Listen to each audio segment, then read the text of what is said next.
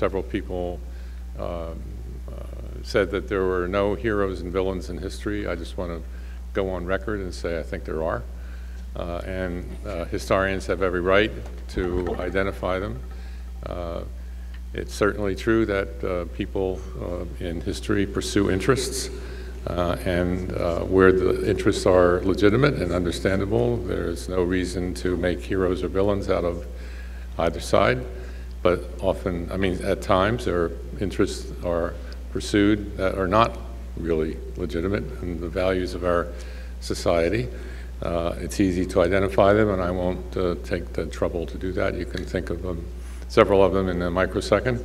But in addition, in a pursuit of interests that are even legitimate, uh, people can sometimes, and do, and have sometimes, uh, violated the basic values and tenets of our society and suborned the very values that we seek to advance and defend in this country. Since part of the session last uh, this morning that brought this up uh, concerned radiation standards uh, and the Atomic Energy Commission. I will simply say that for my, uh, in my judgment, Lewis Strauss was a villain uh, in, by any measure uh, in those deliberations because he violated civil liberties as chair of the Atomic Energy Commission. In the case of Robert Oppenheimer, having his phone tapped in conversations with his lawyer, uh, during the security hearing. He sought to suppress scientific information and thus violated cardinal, cardinal tenets uh, of the practice of science, and I could go on and on and on.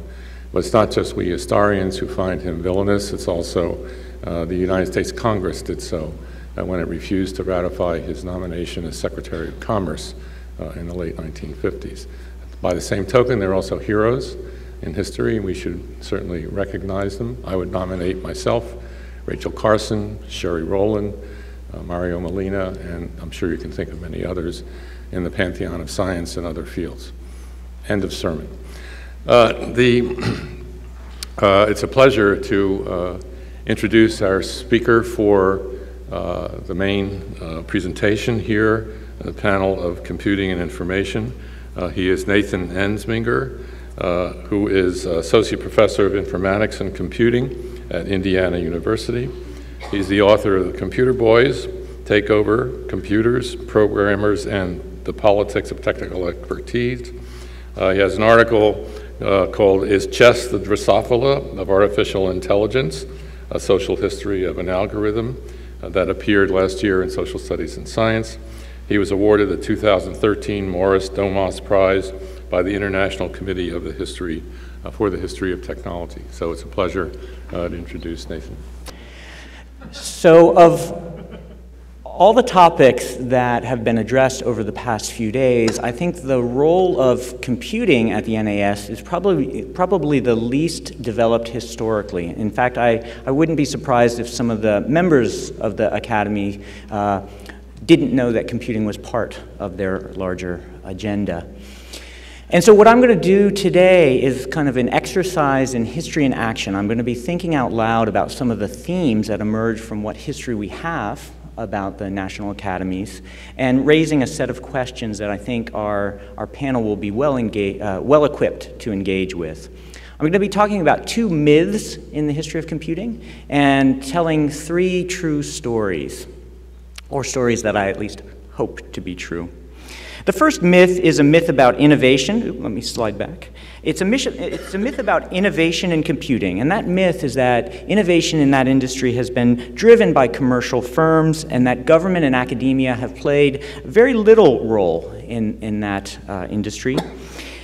The dominant narrative in many popular histories of computing is that even industry is often late to the game and that uh, the really exciting and important developments are often uh, originating with individuals. And not just individuals, but a very specific kind of individual. Slouchy young men with countercultural tendencies, unconventionally educated, very often high school or college dropouts, uh, unruly, undisciplined. These are the anti scientists, the anti bureaucrats, uh, the anti establishment. Uh, uh, establishment. Uh, and so it seems a little odd to talk in the midst of these popular mythologies about computing about a fairly old school traditional organization like the National Academies. In the techno libertarian milieu of Silicon Valley, government officials, elite academics, and other expert authorities represent barriers, not opportunities. Historically speaking, of course, nothing could be farther from the truth. The influence of the federal government, particularly the United States military, is everywhere apparent in the history of computing.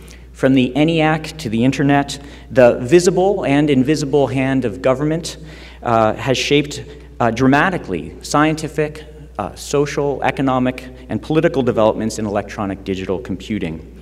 And so, in the next few minutes, I'm going to sketch for you three vignettes that illustrate the different ways in which the National Academy of Sciences, in their role as advisor to the United States government, has changed the course of the history of computing. And my, my goal is to not to provide you with a, a sophisticated historical analysis, um, but rather to demonstrate mechanisms and to think a little bit about how we as historians can understand those different mechanisms of influence. The story of NAS involvement with electronic computing actually begins more than three decades before the invention of the first electronic digital computers. Uh, the NAS, of course, was founded during the Civil War, but as Dan Kevles uh, described so vividly on Wednesday night, uh, for much of its early history, it was ineffectual as a guide uh, for national science, science and technology development. Almost a half century later, however, during yet another war, the NAS would make explicit its role in coordinating scientific research for military purposes and, quote, such other applications of science as will promote the national security and welfare. And they did that by founding the National Research uh, Committee. In 1915, the NRC began preparing the United States for participation in war in Europe.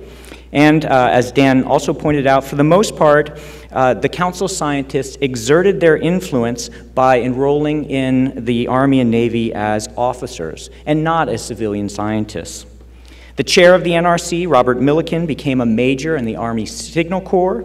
The chemist James Conant developed poison gases as a lieutenant in the Sanitary Corps.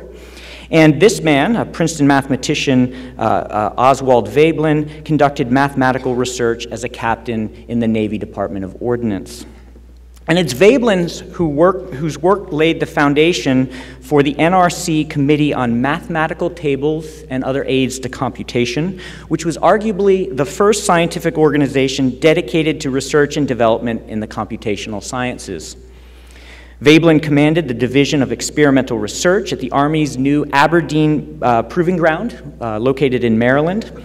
The Aberdeen Proving Ground was the Manhattan Project of the First World War. The Army invested more than $73 million uh, in its development. When combined with an adjacent chemical weapons arsenal, the Aberdeen Proving Ground would come to occupy 35,000 acres uh, located along the Chesapeake Bay. Veblen's job at Aberdeen was to produce ballistics tables for use in naval artillery.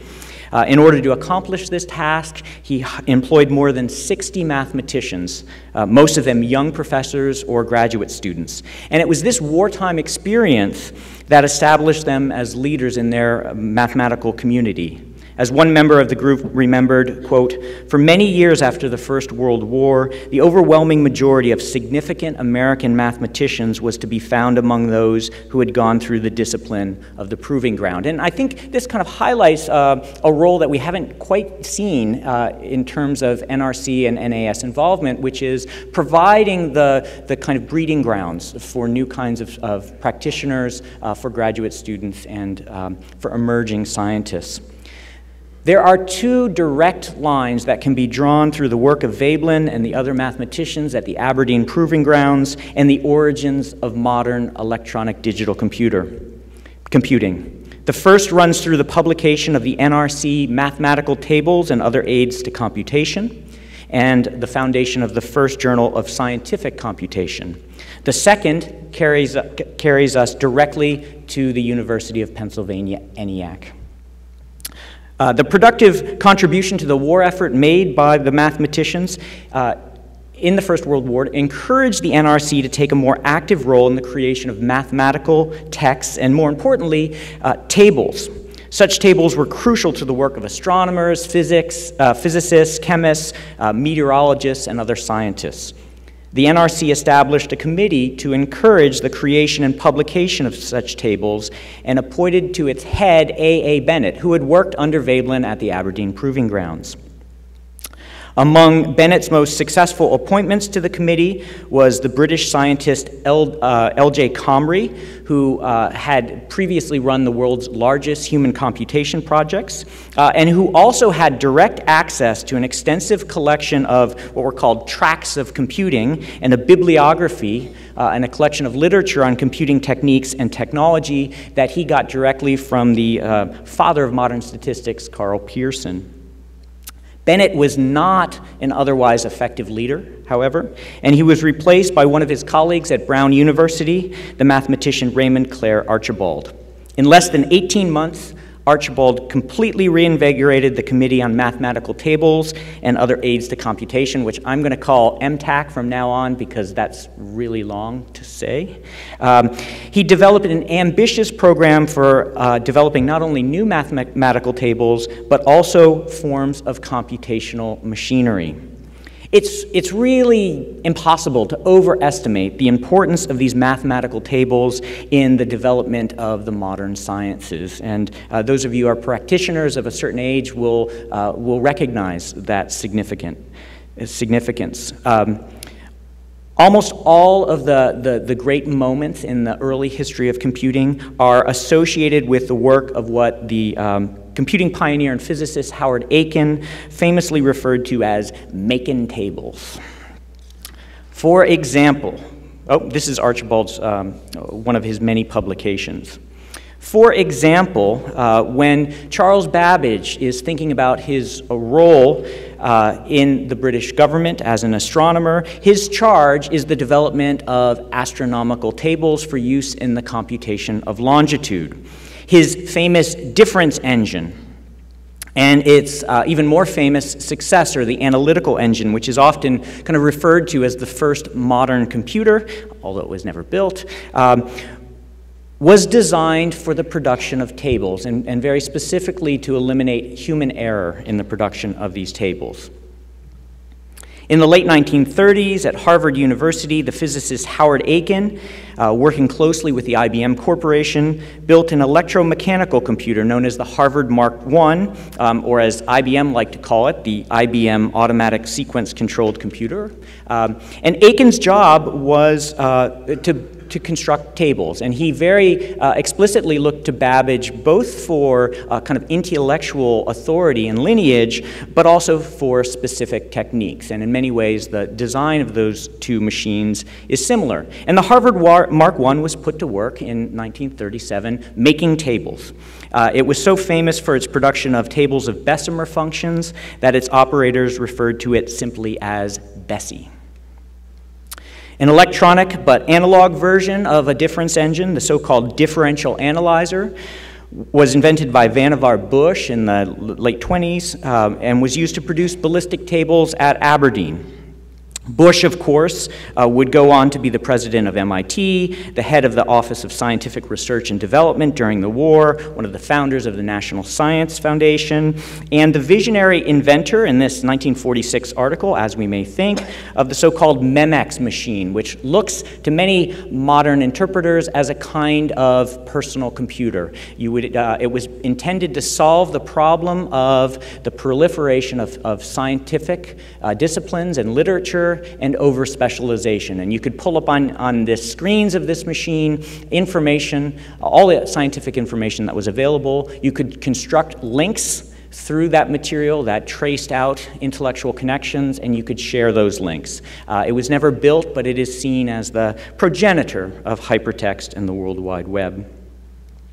The, the, here's Bush with a, a, differential analyzer, which was used at Aberdeen, again to produce tables, which was uh, known affectionately as Annie.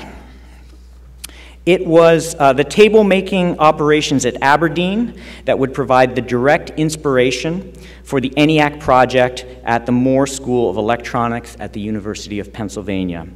Uh, the first, or at least one of the first, electronic programmable digital computers uh, was, in the eye of its inventors, um, simply an automated form of hand calculations. They were taking the work of the human computers at Aberdeen or the human mechanical work of producing ballistics tables, and they were building it into a machine. And I hope you see something of the connection here, both between the machines and processes, uh, but also the people involved. In fact, I'm pretty sure that the women you see in this picture uh, are, are uh, two of the women you see in this picture.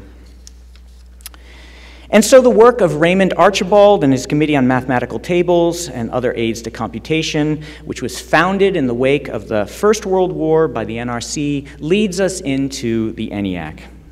In fact, uh, three years before the ENIAC was first successfully demonstrated, Archibald had already established the first journal focused on computational science and technology. For the 10 years uh, that the National Academy of Science published the journal MTAC, it was the only publication in this field. Among other things, it published in 1946 a landmark article by Herman and Adele Goldstine, uh, The Electronic Numerical Integrator and Computer, which was uh, the first public presentation of the capabilities and architecture of the ENIAC. This was an important piece of literature in this history. Um, what else does uh, MTAC do? Uh, the subscription list to their journal included uh, table makers who worked for the government, people like Gertrude Blanch and Herbert Salzer, the economist Wassily Leontief, the statistician Don, John Tukey, the electrical engineer Vladimir Zworykin, the inventor of the simplex method, a guy named George Dantzig, John McPherson of IBM, and the chief uh, staff member of the Applied Mathematics Panel, Mina Rees. It also included um, users of the first computing devices at the US Census Bureau, the National Bureau of Standards, the Army Ballistics Laboratory, Bell Laboratories, General Electric, Standard Oil, uh, Los Alamos, a whole bunch of places. There is a strong argument to be made that these early adopters of electronic digital computers uh, were exposed to uh, uh electro, electronic, or electromechanical computing through uh, the MTAC. There were a few other ways in which they, they functioned. Uh, in 1945, the National Academy of Science Sciences hosted the first public conference on electronic computing. Uh, this is the announcement for that uh, from November 1945. For those of you who know this history, this predates by more than six months the famous Moore School lectures, which are generally uh, considered uh, in the literature to be the first conference.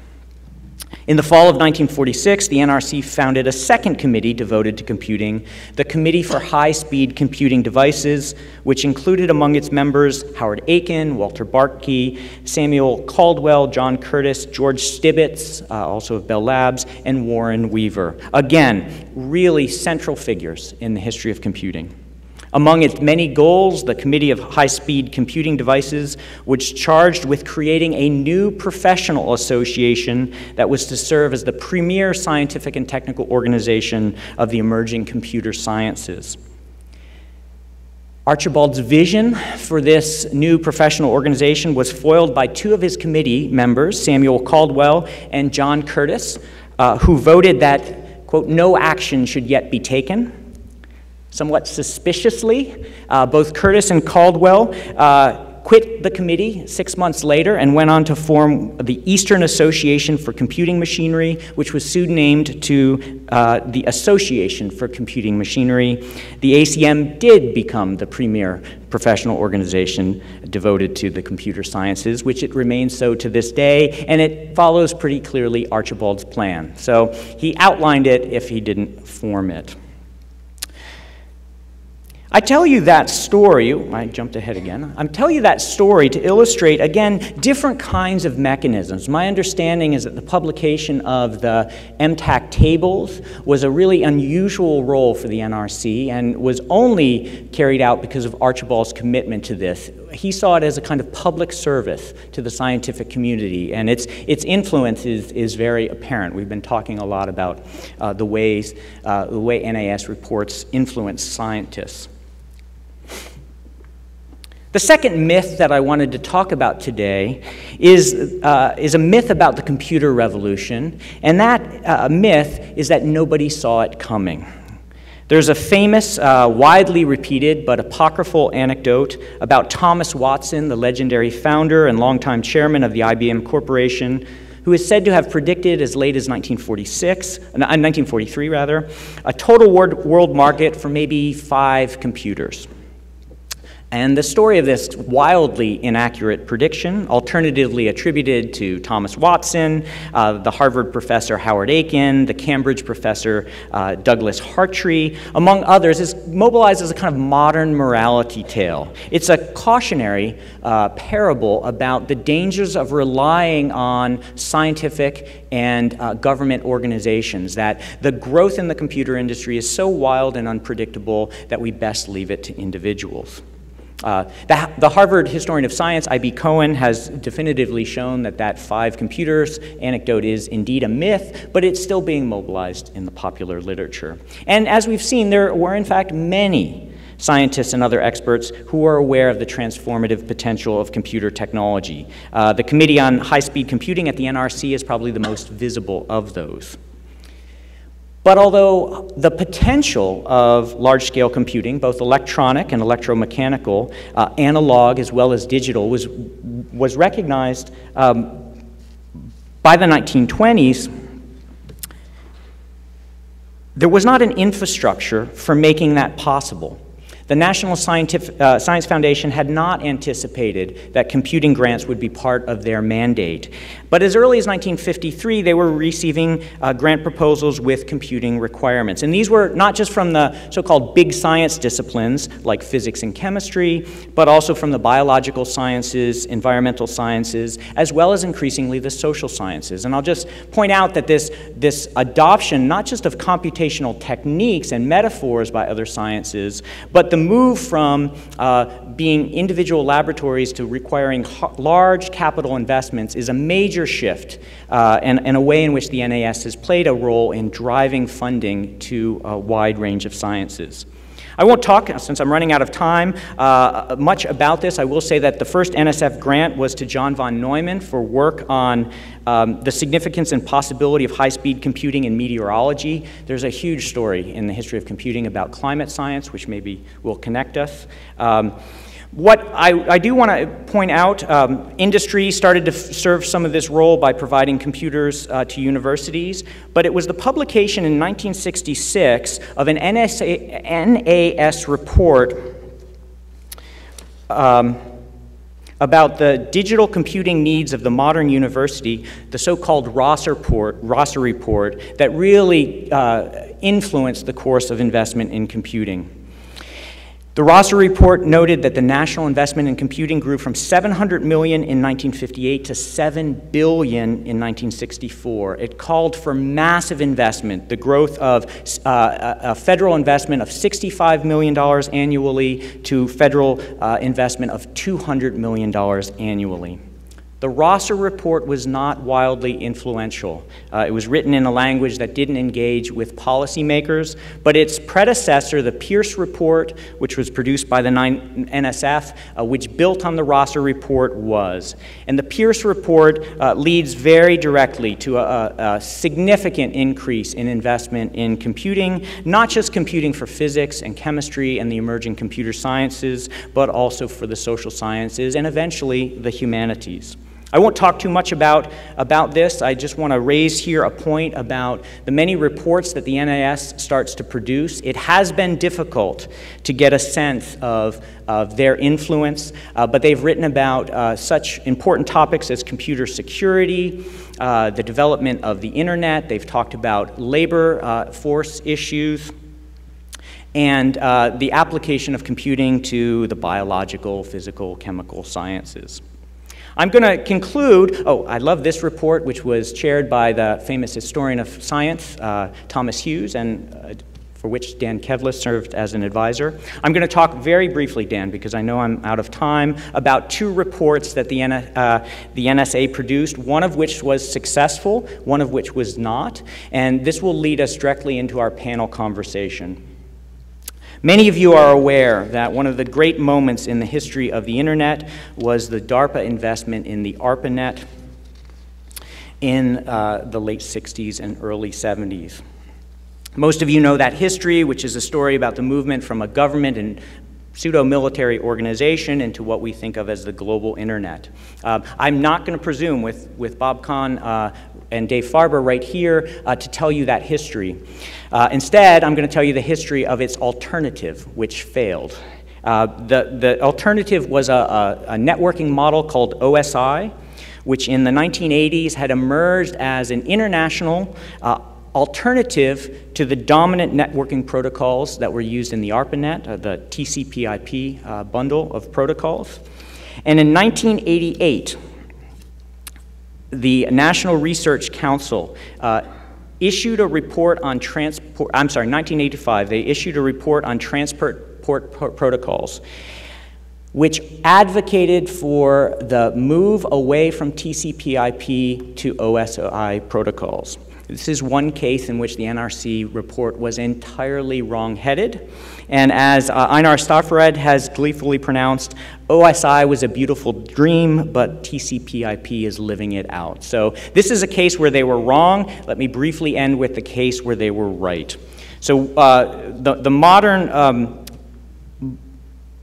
organization within the NRC that, that guides uh, computer science policy and development is the Computer Science and Telecommunications Board. There's some wonderful material in the archives about its foundation, about Joseph Traub. There's a note in the archives from 1987 uh, from Traub which says, Sam Fuller, Fuller says this guy, Bill Gates, has really thought about software. He might be a good person to talk to our board. In 1988, however, they published this report, Towards a National Research Network. Among its many authors were Leonard Kleinrock from UCLA, David Clark from MIT, Robert Kahn, who at the time was at uh, the Corporation for National Research Initiatives, and David Farber. This is a report whose influence is undeniable. As Mike Nelson, who became the Clinton administration uh, uh, head of the Office of Science and Technology Policy, said Al Gore blatantly plagiarized whole sections of this report in preparation uh, uh, for uh, the High Performance Computing Act of 1991, otherwise known as the Gore Act. This was a big deal. The Gore Act funded the national information infrastructure, or as Gore famously referred to it, the information superhighway. It allocated $600 million uh, to high performance computing. It helped develop the backbone uh, of, of the modern uh, internet. And it founded, among other things, a number of supercomputer centers, one of which at the University of Illinois produced the Mosaic web browser, which became Netscape, which became a whole set of internet based companies. I'm going to conclude here, I'm already over time, with uh, three questions that I think uh, this history, this sketch of a history, raises uh, for our panel. Uh, one of them, uh, I hope um, uh, Janet might be well prepared to take up. If you notice in my story, there were a surprising number of women. And this is indeed true of the history of computing more generally in its early period. Today, of course, uh, the computer sciences uh, have serious problems with gender and the retention of female students, faculty, uh, and workers. Um, this is a turnaround, but I think this is a, a moment for exploring kind of questions about uh, female participation and gender within the national academies more generally. Second question is about the role of these reports. There were a lot of these issued in the 80s and 90s, and it's hard to assess their relevance. I think uh, the last reports I referred to illustrate ways in which these reports achieve a life of their own and become tangible. And finally, there's this question of whether computing is a science at all and should be within the National Academies of Science. Much of what I described is about infrastructure, it's about equipment, it's about technology, and not about the foundations of computer science. And it's that last question that I'm kind of addressing uh, uh, specifically uh, uh, to Robert Kahn and David Clark uh, in thinking about their own careers and, and, the way in which they define themselves as either scientists, engineers, technologists in various um, uh, contexts. What we've decided to do for our panel is just have Dan introduce people. We're going to have a, a, a more informal conversation and open things up earlier to the audience.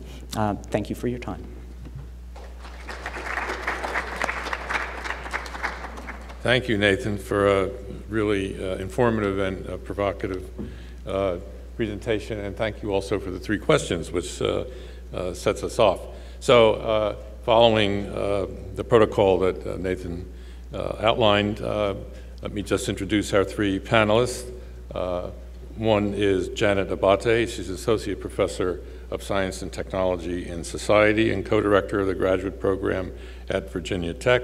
Uh, she is the author of Inventing the Internet and recently a book, Recoding Gender, Women's Changing Participation in Computing. Uh, secondly, uh, immediately here uh, to my right is Robert Kahn, President and CEO of uh, Corporation for National Research Initiatives. He began his career at Bell Labs and as Assistant Professor of Electrical Engineering at MIT. Uh, he served as the U.S. Defense Advanced Research Projects Agency, uh, at there, he served there, where he initiated the U.S. government's billion-dollar strategic computing program, uh, can the idea of open architecture networking, and coined the, the term national information infrastructure, which uh, later became, as Nathan has said, the information superhighway. He's a member of the National Academy of Engineering, a recipient and a recipient of the uh, distinguished Charles Stark Draper Prize for the development of the Internet.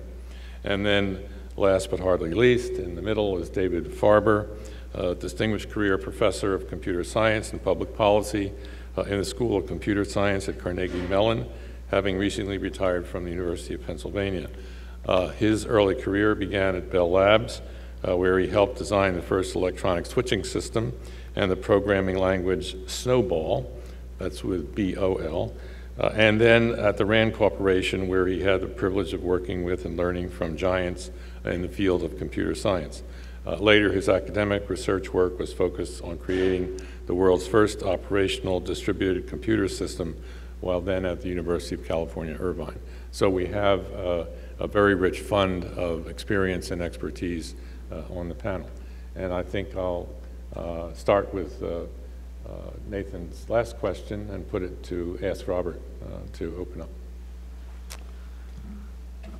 Do we have to do something to turn it on? It says push. Yeah, it's on. You just have to Okay. move cl- more closely to it. All right, so I hope people can hear me. Well, listening to the commentary that's come before, there are probably a half a dozen different threads that I might choose to push, push back on. One of which is sort of what computing really was like early on. Um, I might start there. Uh, sort of what what the different points of view are that go along with that. Same thing was true of the early days of the ARPANET and the internet, which I was deeply involved with. Um, there are equivalent issues about uh, what happened within the government as the government got into computing big time. Um, and, you know, of all the things that were mentioned, uh, most of them kind of came to life for me in different ways. For example, I think uh, you mentioned that the, um, and I don't know whether there was more than one, but that the uh, analytical engine of Babbage was never built. And yet, uh, I'm, I'm trying to put that in context because the year that I won the Smithsonian Award, I was actually delivering the keynote address at the 100th anniversary of Marconi's invention of radio in uh, Prince Albert Hall in London, and they did a filming of that uh, to present here in Washington. They wired it back some way, shape, or form. So we're in the British Science Museum, and they were filming it right in front of the mechanical engine that Babbage had built. And the filmmakers were having a difficult time with it because it was enclosed in glass. It was sort of their prized possession. And the glare from the glass was, uh, you know, quite stark. So they asked the curator, who was this, this was like 7 in the morning, the, museum was otherwise closed, if they could remove the glass so it wouldn't reflect. So he did with some trepidation. And then the movie director asked if I would take the hand, I mean, the way you crank this thing was with a mechanical crank. Would I just sort of take the crank and crank the analytical engine? And I proceeded to follow instructions, and the curator almost had a heart, heart attack on the spot. Came with a chamois cloth, wiping it off, you know, proceeded to make sure we didn't try anything like that again. Now, I don't know whether that was considered an implementation. I don't think it was the whole engine. Say that the, the Babbage didn't build his machine, the British government didn't have enough money. That version was built by a man from Microsoft who did. That's, that, no, I know that Nathan Myhrvold actually had Yes. crafted another one, but I think this was way before Nathan was on the scene. There were portions of it that were built, right, yes. Okay. So let's see where to start. Um, in general, whether computing is a science or not gets to the definition of what it means to be a science. And I think the really interesting question there is, does it have to be about the physical world to be a science, or can it be about a conceptual area, a virtual world? Uh, I don't know if people would say mathematics was a science. Uh, most people talk about mathematics and the physical sciences, and they sort of distinguish the two because mathematics is more of a conceptual thing. To me, the essence of a science has always been about its power to predict what you would see in nature. That is the ability to do physical measurements and corroborate them with the theories, or vice versa. So, in that sense, um, none of the virtual subjects would uh, qualify as a science. Now, if you wanted to expand it and say, well, because the measurements in this abstract world can't be based on physical things, does that same definition apply? And I would say probably no. But then you get into the more interesting subject of whether logical, um, logical manipulation of a field from an axiomatic basis qualifies to make it a science. And if that were the case, then mathematics would clearly qualify as a science. So let me tell you a little bit about the history of how computing came about as I, as I know it. Uh, and I recently was at the 100th anniversary of Turing's, uh, was it his birth, um, that Princeton held, because that was where Turing actually did his PhD thesis. That's where I actually got my, my graduate degree from, my PhD. So I was one of the speakers that they had there, and, and I came at it from a different perspective, because almost all the others were deep into logic theory, and, and by representing sort of a way to think about that from an internet point of view really was somewhat unusual, I would say, in that grouping. But having not been there, I can only report what I know from either what I've read or from what I heard at that experience. So I'm not a pure historian. So, but what, from what I understand, at that time at Princeton, there were really three distinct approaches to computing, one of which was uh, proffered by, I guess, one of the leading people on the faculty named Alonzo Church, who was a logician, and he was pursuing um, a field that uh, I guess was called lambda calculus back then. And for those people who have uh, really thrived in the artificial intelligence world, it was the basis of a programming language called Lisp that John McCarthy pursued uh, along with others back in the late 1950s. So that was one whole discipline on the campus. They were thinking about lambda calculus as a way of describing logistical calculations. They weren't thinking about actually mechanically doing these were like proofs of things, axiomatic proofs. Um, then there was another group that uh, involved a well-known mathematician named Kurt Gödel, who was involved in something called the incompleteness theory, but at the time he had been pursuing, as I understood it, recursive function theory, which was yet a different calculational approach to how to deal with, quote, computing, although people weren't thinking of it as machines at the time. Okay, so, um, and then there was this other fellow, Alan Turing, who had written a, a thesis, what he called on computable numbers. And it, it, that didn't really make a lot of sense to people because they weren't thinking of computing as a machine-based anything. Um, and he had this model with a single tape of infinite length in both directions on which you could do really simple things, like you could write a symbol and you could erase a symbol, you could move the tape left and right and so forth. And he was able to show that you could do a wide range of computations. It was later shown that all three of these approaches were logically equivalent. Recursive function theory, the lambda calculus, and what you compute with a Turing machine were essentially identical. Along comes a fellow named John von Neumann, who basically says, well, you know, these infinite tapes are problematic, but I think what we could do is create a two-dimensional version, namely a big electronic memory. Turns out it was troublesome in those days to even figure out how to do that. And some of the early ones were viewed uh, on Williams tubes, with little oscilloscope kind of tubes that had little dots so you could tell what the bits were. Um, and eventually that led to the architecture that has thrived up until the modern age, which is the John von Neumann architecture.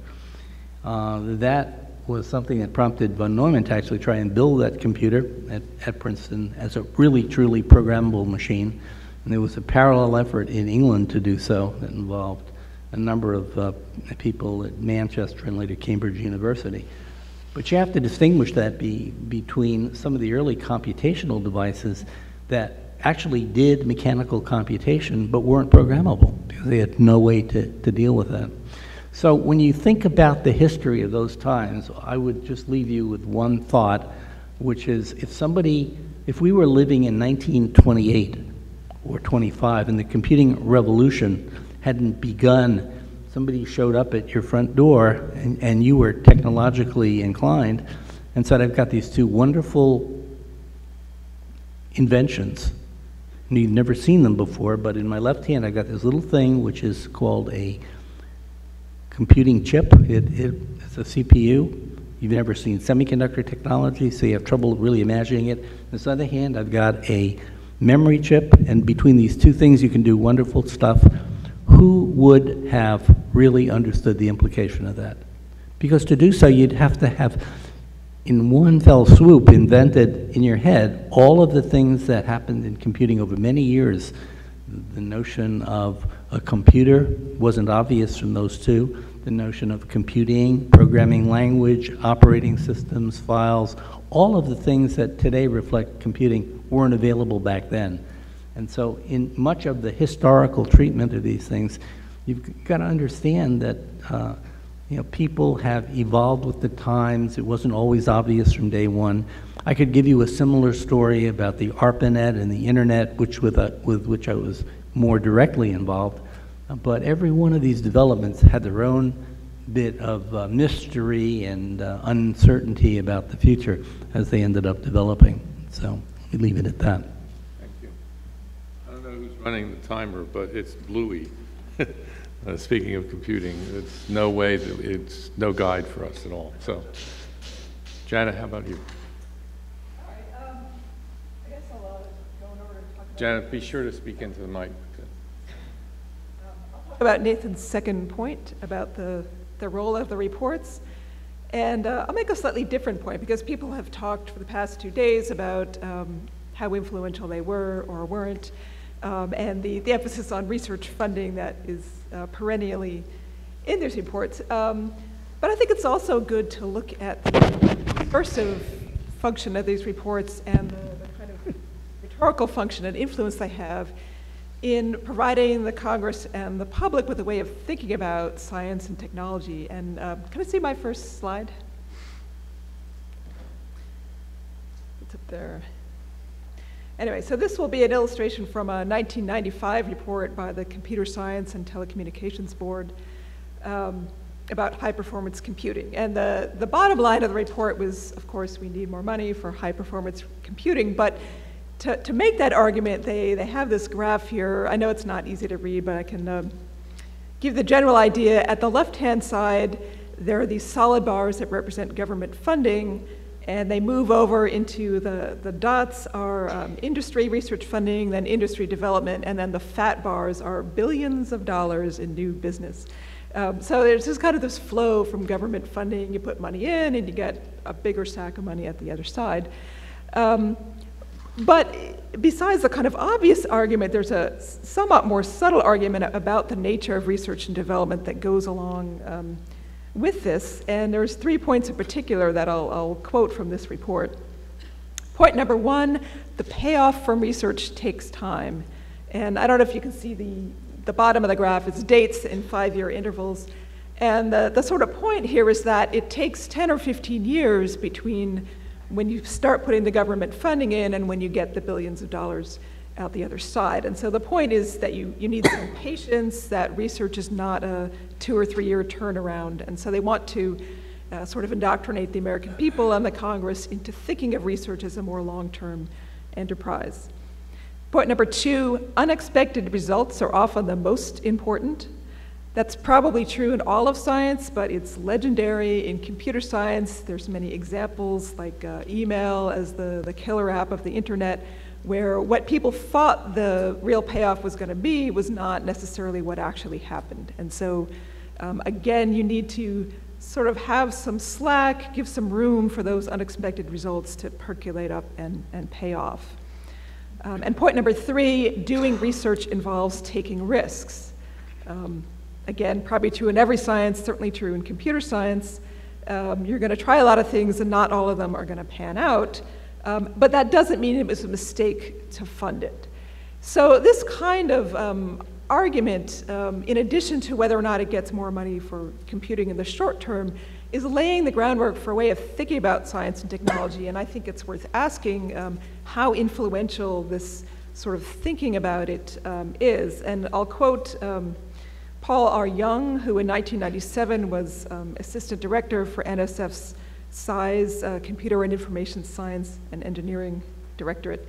And um, he was speaking at a CSTB symposium and referred to this figure as a powerful rhetorical tool in, in his own work. And he said, You know this figure, you love this figure. I know this figure, I love it.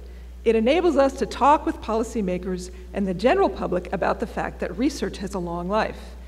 It enables us to talk about the fact that the process is nonlinear and that the particular goals may be diffuse. This figure has been very effective. Um, so I think it's important to think about these uh, discursive impacts as well as any direct uh, research or policy impacts, because I think um, that more subtle impact is, is also well worth looking at. And I'll turn it over to Dave. I'm not going to talk about the role of women in computing. I, I got killed once for even opening the question. Uh, I want to talk about several things. Um, if you look back, first government involvement in computing, if you look back, dim dark past uh, the development of the large scientific commercial machines, uh, which started at least a big effort started at IBM, but if you look past when the first IBM 704 came out, IBM was in the process of building a very large computer called Stretch with an auxiliary unit called Harvest in roughly the same time period, a highly transistorized uh, solid state, or not, uh, large memory computing system, which took about five years to actually evolve towards a, a later version of the IBM scientific machines and most computers. Stretch was funded by, I quote, the Bureau of Ships, uh, but it seemed to appear in Fort Meade faster than it appeared in the Bureau of Ships, uh, and just got retired in the 90s, which is an interesting thing. So the government has constantly pushed technology through funding of specialized machines for special purposes, which then evolve into commercial successes. Uh, I'd also like to, uh, I'm going to sort of shotgun around, but the question of whether computer science is a science this is not my brilliant uh, uh, original thought, but I think, I, I think it's either Herb Simon or Al Perlis or somebody else. But we, we're in a very strange area in computer science. We create an artifact, a computer, and then we look at it and say, my, that's an interesting thing. You know, we don't have a real world, but we have this strange world, and then we start trying to understand how it, how it behaves, what's the fundamental rules that govern it. Very much like a physicist, physicist would look at, the, or a cosmologist, which I wanted to be when I was young, look at the universe. And we probe and we say, can we describe it in mathematical terms and in what do we do with it? And I think we're very close to a, to a, a real, I hate to call physics real, it's not the only real science, to, to a science there because we have this body. We, it's not a natural device, but it's a, it's a device that has a lot of interesting properties. And we do talk about mathematical constructs of it. We talk about how to use it. We talk about where it's evolving.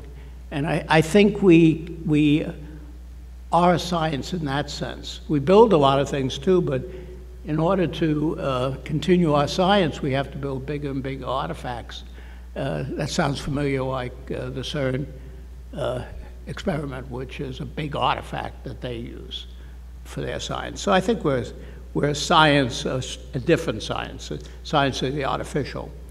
Um, somebody uh, mentioned risk, risk of research.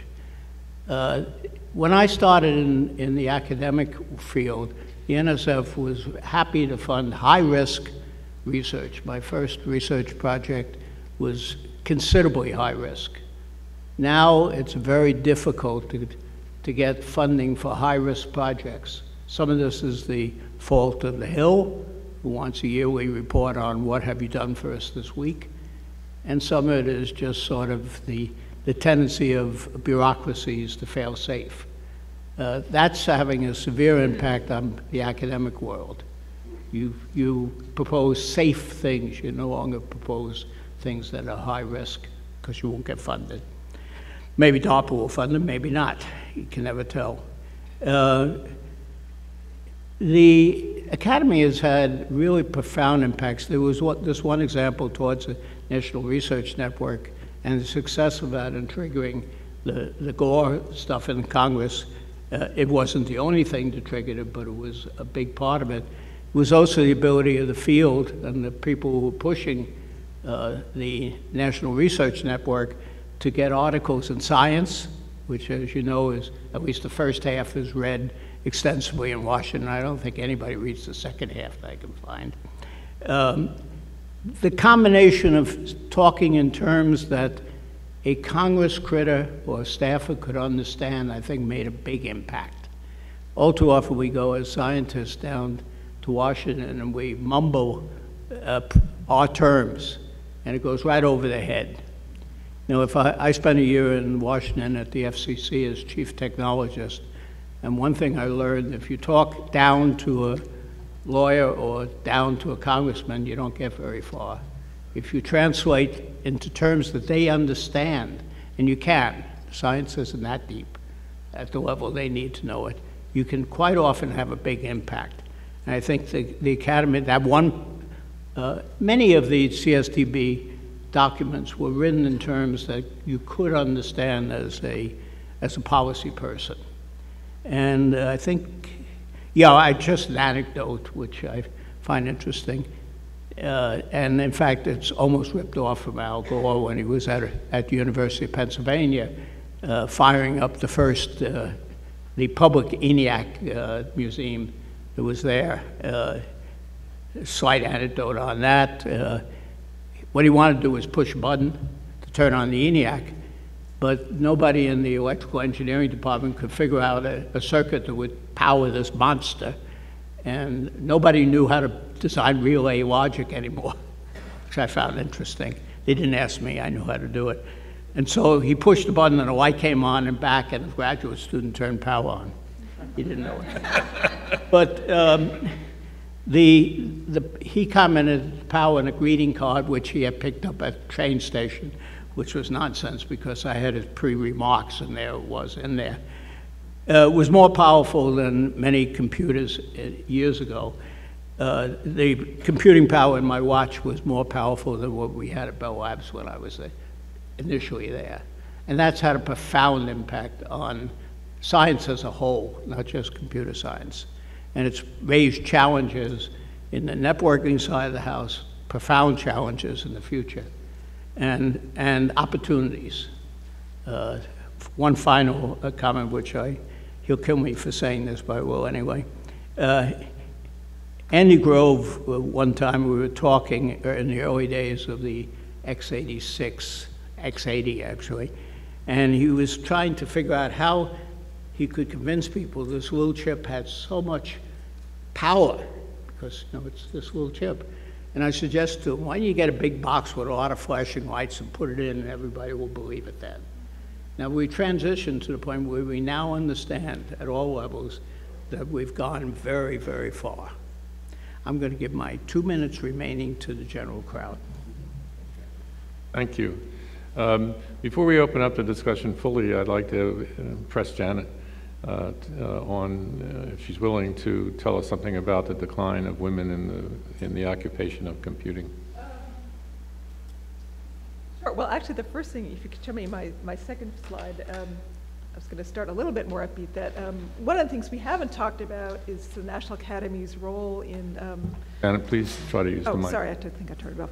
Um, The National Academy's role in um, producing reports about gender and science, and that's just an example of some of the major reports that have come out. Um, And um, these are really important, um, have been very important in a practical way. Um, I serve on a committee at Virginia Tech to improve, improve the climate and the retention of women scientists, and, and we use these reports to kind of guide policies at our institution, and I know other places do. Um, so the whole workforce side of science, we haven't really talked about that much, um, but that's very important, um, and it's certainly important um, in computing where um, uh, there is an issue in, in the representation of women. The situation in computing is, is somewhat peculiar because the um, percentage of women in uh, computer programming and computer science degrees uh, rose up until the mid 80s and kind of peaked around, I think, 35%, and it's actually gone down to maybe, not sure what the exact figures, but maybe 25% um, today. So it's a kind of odd case where it actually went up and then went down again. Um, and there's many people trying to figure out why this is, and um, some of these reports try and get into those um, those issues. I think there's it's a very complex issue, and um, it ranges from things like work-life balance and um, encouraging girls to get the background in, in mathematics that they need in, in middle school and high school, so they don't kind of disqualify themselves before they get to college, and attrition rates in in college. Um, many other things. Um, there's kind of a long list of things. It's not a simple problem. It, it doesn't have a simple solution, um, but there are people working on it, and, and these things do help. And if you kind of read these reports over time, there is improvement. Uh, we have figured out some best practices, simple things like, you know, put a woman on your um, hiring committee, and that alone will actually significantly increase uh, the pool of women in the applications pool. It kind of sends a subtle message that they might want to be there. Um, so we, we have learned some things to make things better, and so institutions that are motivated to improve their recruitment and retention can actually build on this. Um, obviously, on the industry side, there's there are all kinds of economic factors in addition to this. So it's a complex problem, but um, it is a problem people are working on. I have uh, sort of two comments uh, that I'd like to make. One one has to do uh, with the academy itself and some of the obstacles that they've had to get into these various disciplines. The other one has to do with this issue of science again. So let me just start there briefly and say that one of the things that's come out of the effort in computing from really from the very beginning to the present has been the un- better understanding of the notion of levels of abstraction. And by that I mean, uh, when you programmed the original computers, I mean, I remember programming the 650 when I was you know, little flipping toggle switches to do the programming. Uh, I actually programmed the 704 at Bell Labs before they ended, that was the old, the last of the solid state machines before they got the 7090 that Dave was sort of alluding to. Um, and you know, those early days were very much tied to the hardware, and little by little, we got to higher levels of, of, of granularity. So when people ended up, you know, deciding that you could write a program in Fortran, that was that was sort of abstracting the computation, which was then compiled in, into the machine. And more recently, people are looking at even higher levels of ways of specification. This is actually an interesting insight into what the internet is all about, because when people talk about the internet, I, I would say at least half, maybe nine out of ten people think of the internet as a network. And I say, well, that's not how I think about it at all, because what the internet was all about was how to take different components, whether they be networks, computers, devices, today wireless devices, applications of all kinds, and make them work together. So it was all about the protocols and procedures that would enable that, And that's still true today, in my view. And when you think of it at that level, then the, it makes it possible to swap in and swap out the underlying technology. So it's not about particular network or computer. I mean, network technology has changed dramatically, computing even more since the early 1970s. And yet the internet sort of has had a constancy at a level above that, at one architectural level.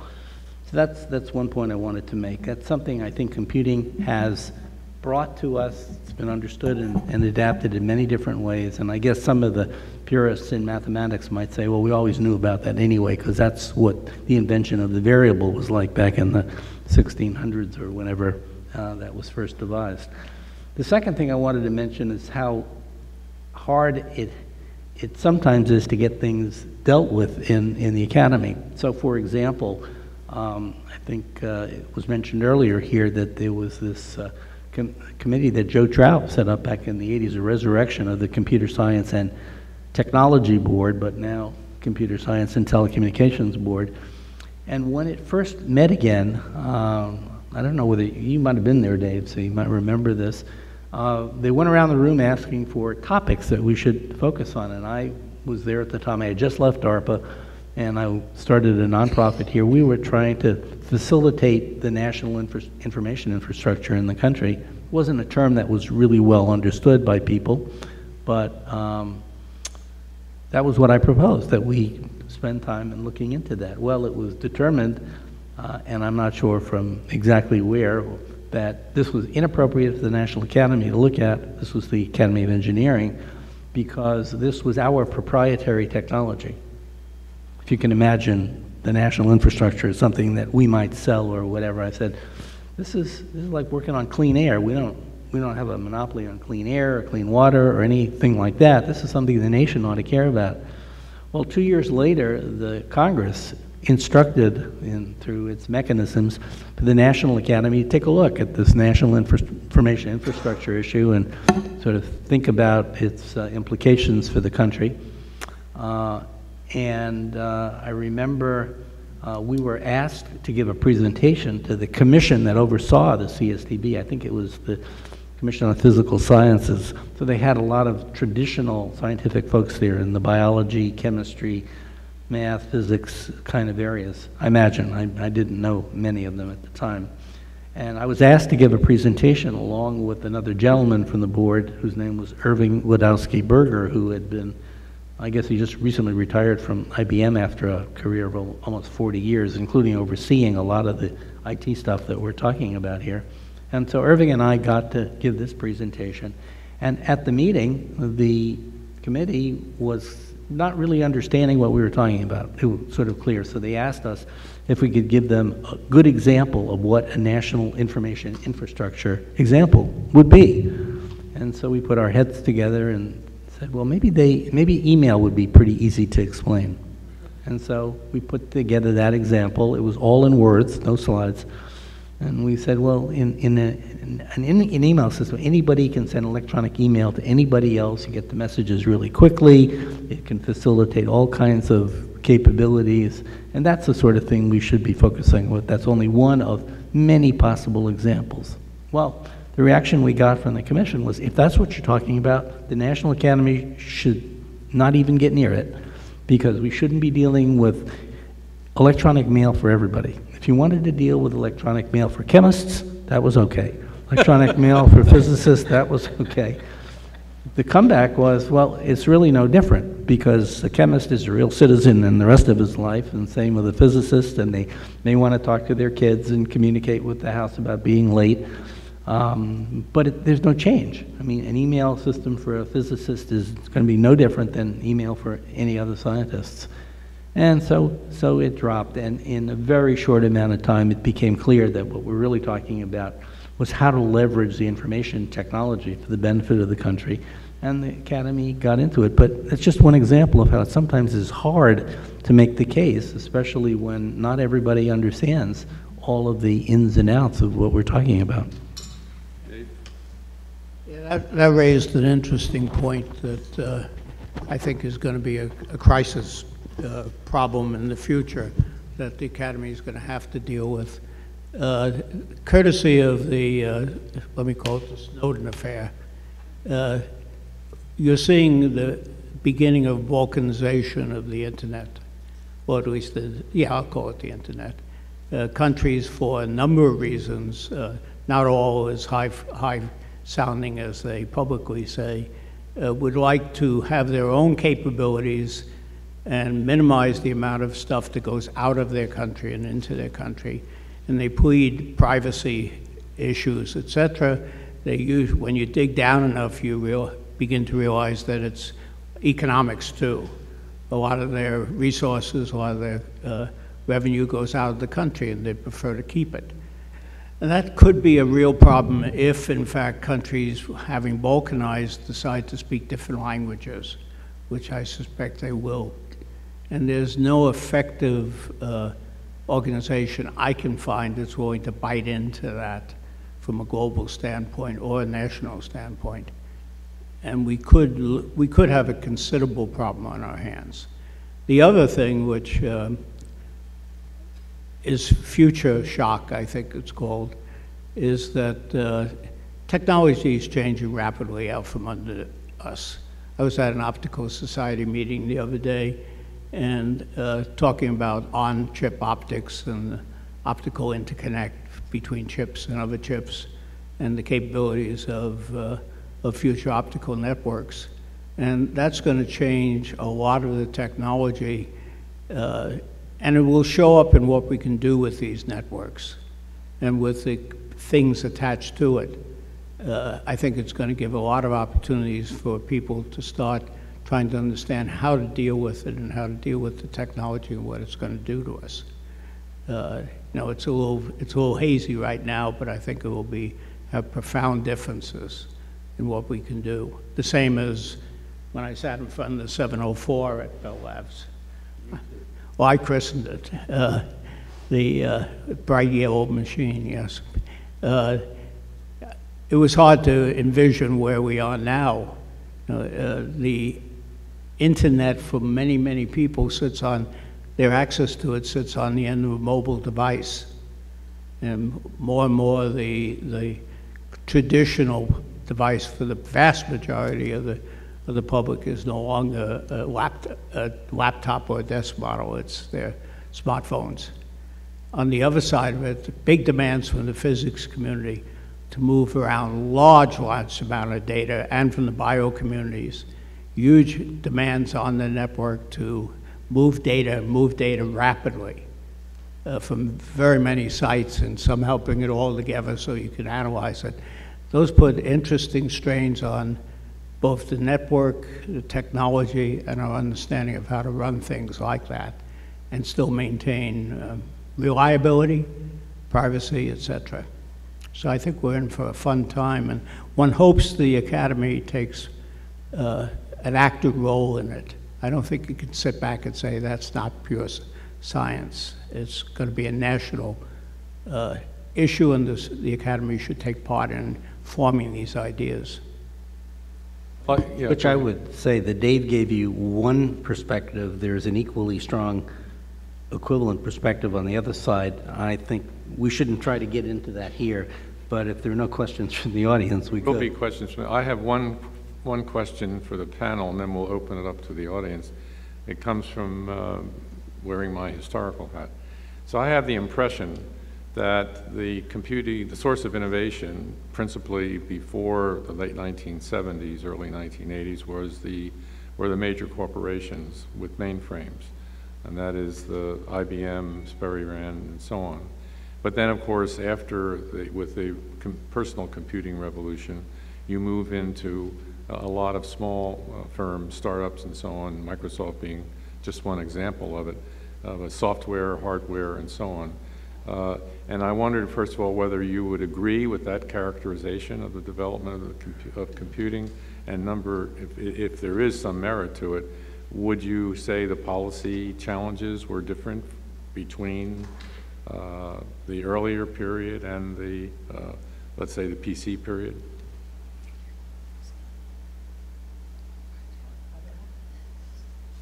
All right, well, um, let me take one crack at it. Uh, First of all, I would argue that the early work on computing really came more out of the universities and the research community than it did did out of the big industry. There were examples where industry, you know, tried to actually build on what was known, but if you're focusing on where the ideas were coming from, I would say more that came from the universities and the research community and the research labs in industry than it did from industry itself. Now, a lot of that started to tail off after a while.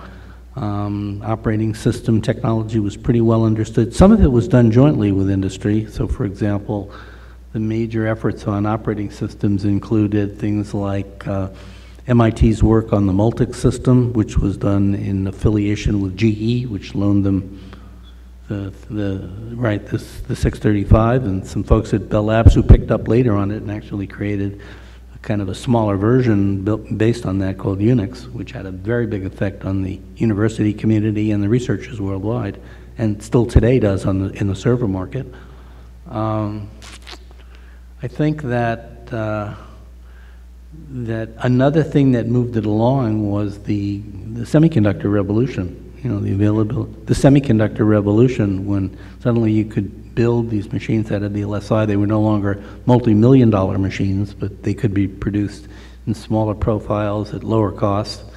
Um, and a lot of that, I mean, if you took a look at the contributions of, say, a place like Xerox PARC, in, in, in essence, that was industry, but it was the research arm of industry that was pushing that. Uh, today, I think the question that you'd have to ask is what are the primary computing co- or computer science, to use that term, challenges that, um, if solved, could make a very big difference going forward. And I, I think there are some. I think they're not articulated particularly well, and I think they're not funded particularly well as a result. And maybe that's because people can't quite see their way through the challenges, and therefore uh, it doesn't uh, tend to draw the amount of funding that would be available for something where you could see how to realize it, whether it's in a Large Hadron Collider or uh, just a big uh, piece of iron. Uh, we are in a software world today, much more so than ever before, and uh, I think even the networking world is seeing that uh, with a lot of the software-defined networking work, uh, which I tend to look at and see as a kind of logical growth out of the work on mobile programs that, that was done back in the 1980s. Well, let me stop there. You asked about policy, but I'm going to let Dave take a crack at that. Well, I think we'll, you want to, you have, Make one very small comment.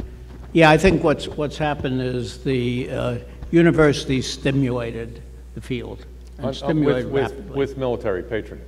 A lot And with NSF patronage. I mean, uh, a lot of the funding came Well, from all right, a lot of NSF as government well as patronage. DARPA. Right. Uh, Later on, and then, yeah, later on. The early work was, NSF was light in. I mean, NSF gave a lot of computational capability to the Well, university. they also funded research in some areas of basic, but for instance, they funded DCS work.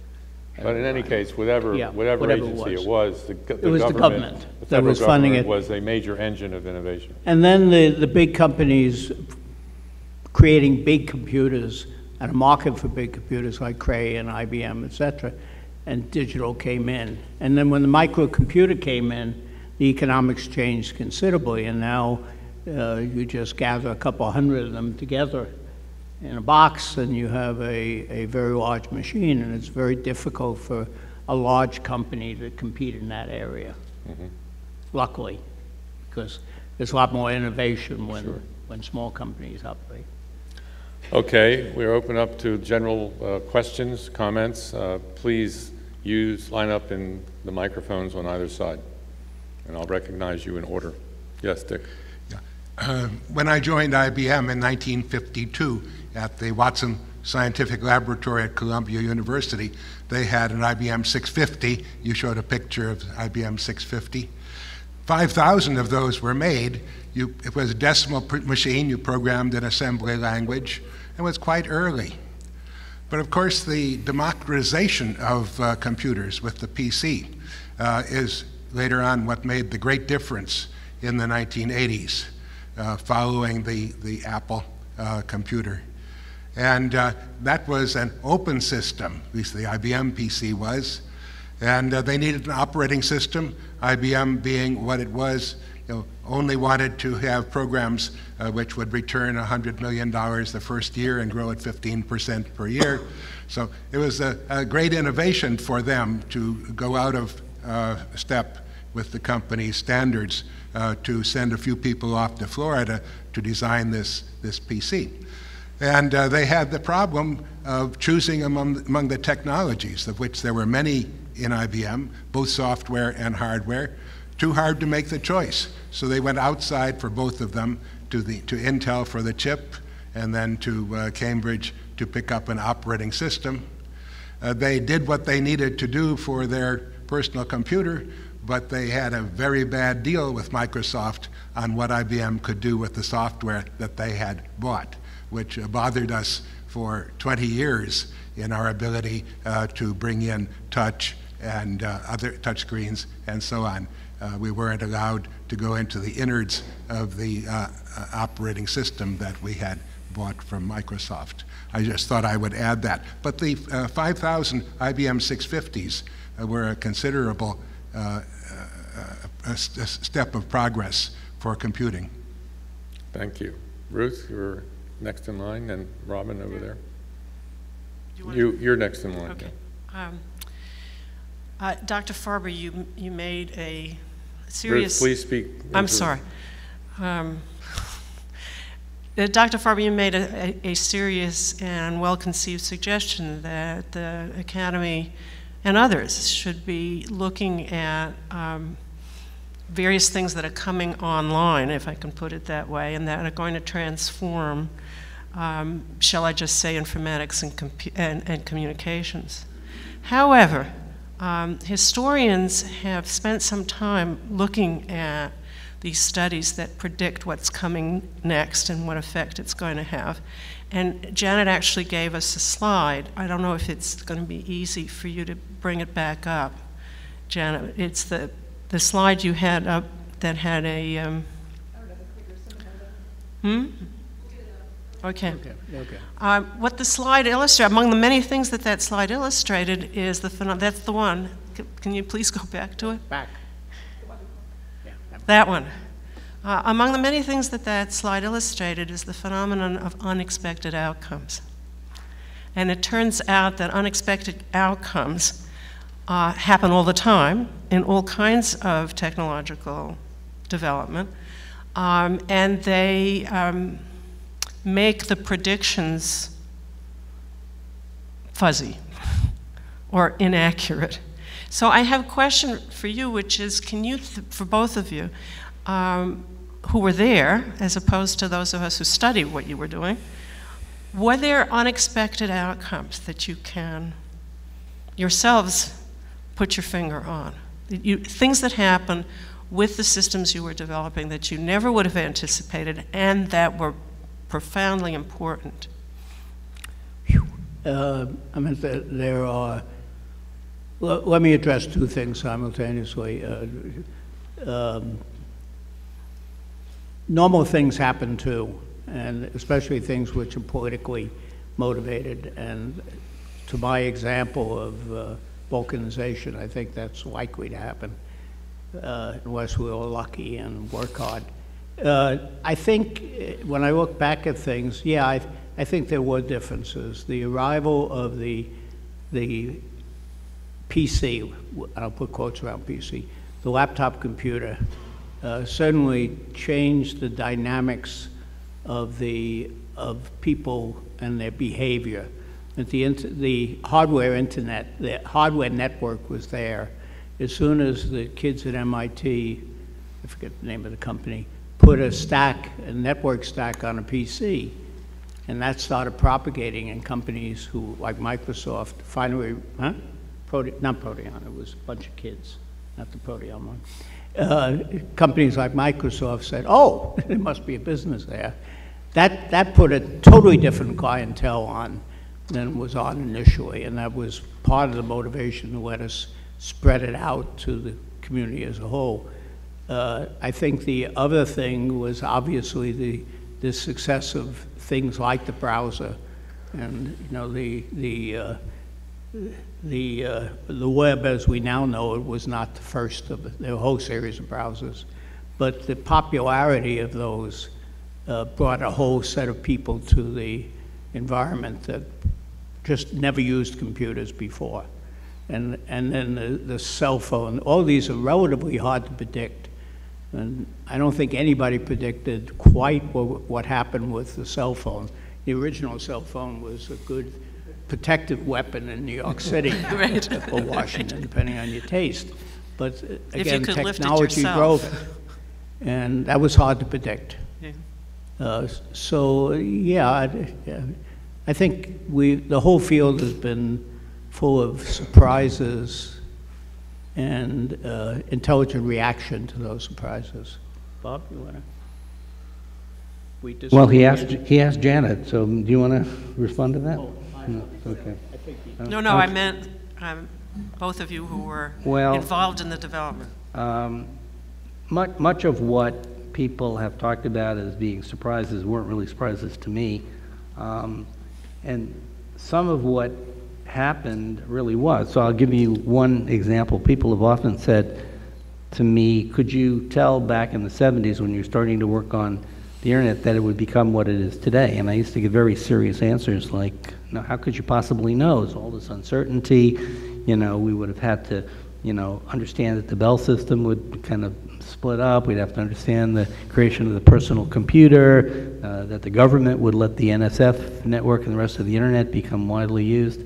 And after doing that for three or four or five times, I decided I'd try a different tack. So the next time I got asked the question, I said, well, of course we could see it, clear as a bell. We knew that the PC was going to be invented in about 10 years and that the breakup of the Bell system in about 15. And, and really? So in, in some ways, what actually happened was imaginable, but the fact that it really happened was a big surprise. The other thing, uh, and I could give you lots of examples, but I'll give you one that, that's very personal with me.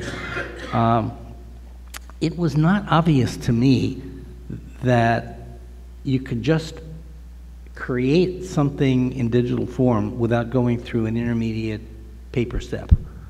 So, you know, the way I used to do all my memos in the early days, I get a piece of paper and I want to write a memo to somebody, I write it out longhand, and then I sit with it longhand and I play secretary and just retype it into the machine. Because I guess my thought patterns were really tuned to paper starting. And after the first five or six times of saying, well, let me see if I can do without the paper, I realized that there's actually uh, a, a fluency to trying to deal with the machine directly, but that was something that had to be learned. It was a big surprise to me, quite frankly. But I don't know that you call that technological, it was more social. Okay. comment. Uh, I have two grandchildren, I'm sure a lot of you do too, but they're in third grade, first and third grade, and they no longer know how to write. They know how to type like bandits. They know how, they're told to print their homework on laser printers or s- email it to their, their teachers.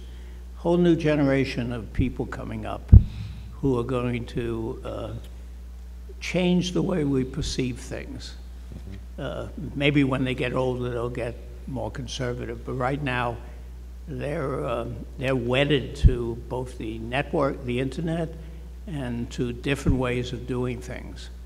Good. Let's hope that they do know how to add, subtract, multiply, and divide. Right. Robin? Why? Thank you. Yes, thank you very much. I, well, listening to you, uh, this is more of a comment prompted by the title of all the sessions today, which is infrastructure. But I think that this panel has seemed to have at least three meanings of the term. There's sort of the physical nuts and bolts of connecting things. There's the sort of social uh, or technical of agreeing on particular protocols and conventions, and then there's the more very social or cultural of people happening to be in the right room over dinner at the same time.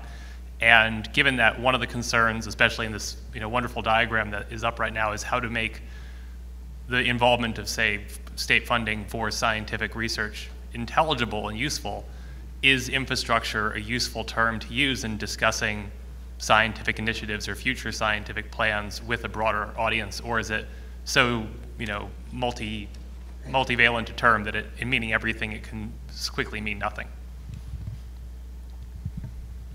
Is there a question? Well, that is, Pardon? The, the question is, is infrastructure a useful word to be using in this Yeah, discussion? okay. Well, let's set that aside. What, what we care about is what is, right? And to how you categorize it, it seems to me not so important as to understanding what uh, uh, has happened and how it impacts the world, and then the role of the academy in either uh, modifying or advancing it.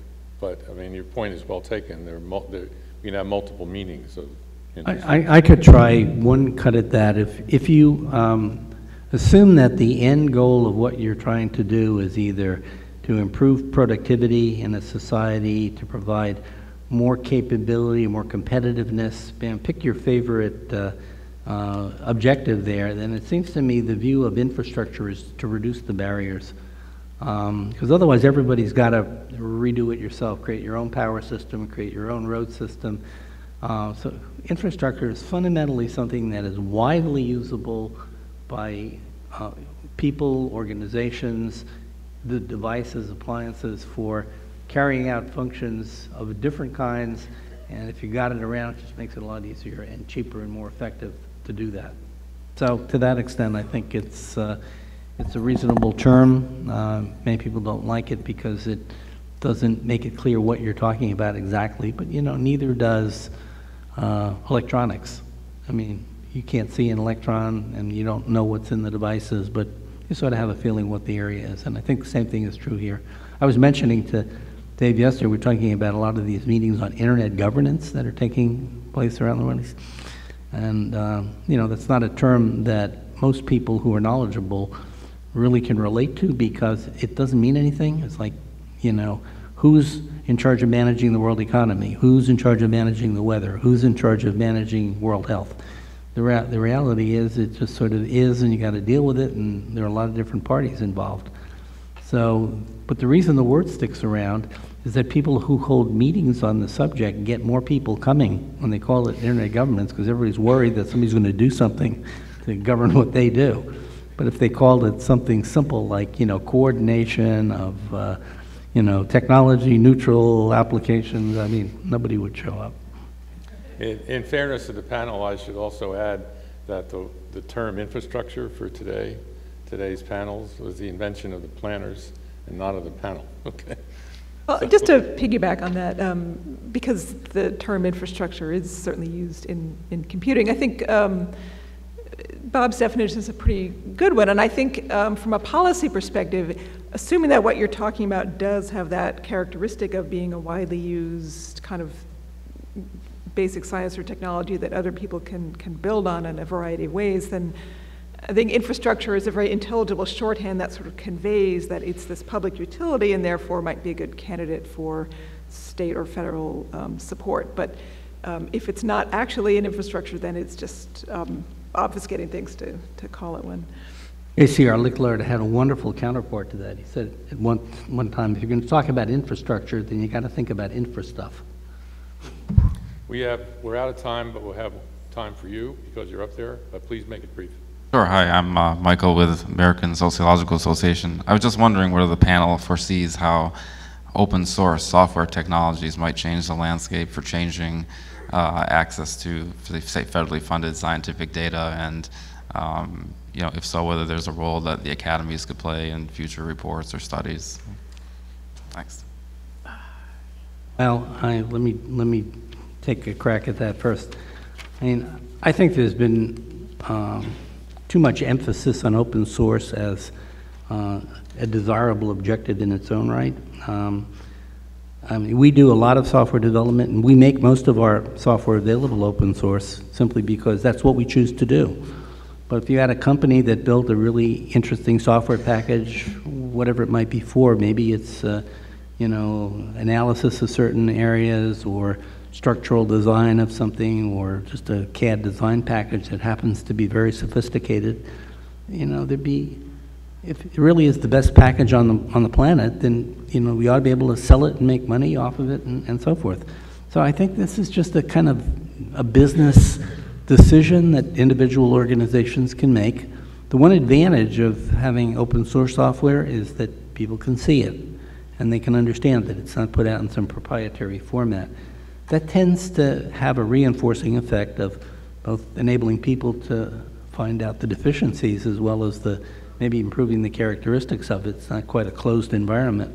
But I think, you know, it's like with the word network neutrality, which got bandied around for a long time. Uh, that too was more of, of an issue of uh, business judgments of who should be doing what. A lot of those issues were fought in the courts because people complained that this was intrusion and that let businesses sort it out itself. And for the most part, I think they, they pretty much have. It doesn't mean that, you know, laissez-faire is the right solution to everything in that arena. But I think uh, in terms of open source software, many groups, particularly the universities, have chosen to make it available. And that tends to, you know, create uh, an awareness on the part of the community that uh, I think is healthy. Dave, 15 seconds. Okay, uh, one debit of open source is it's killed the evolution, really, of many business areas. It used to be that there was a fairly active business in compilers, and they were getting better and better and better. Now everybody uses the open source compilers, including companies. And so that field's, for practical purposes, dead, and it's not a big hot topic in universities for roughly the same reason. So while open source is great, uh, the other comment is if we're all running the same open source in different manufacturers' machines, the only differentiation you have is price, and nobody likes that. So quite rapidly, open source, when it gets commercialized, uh, tends to have closed parts of it. It- It's a great idea, but it is tricky uh, from a business standpoint. Thank you. I want to thank our panel and the audience for its active participation.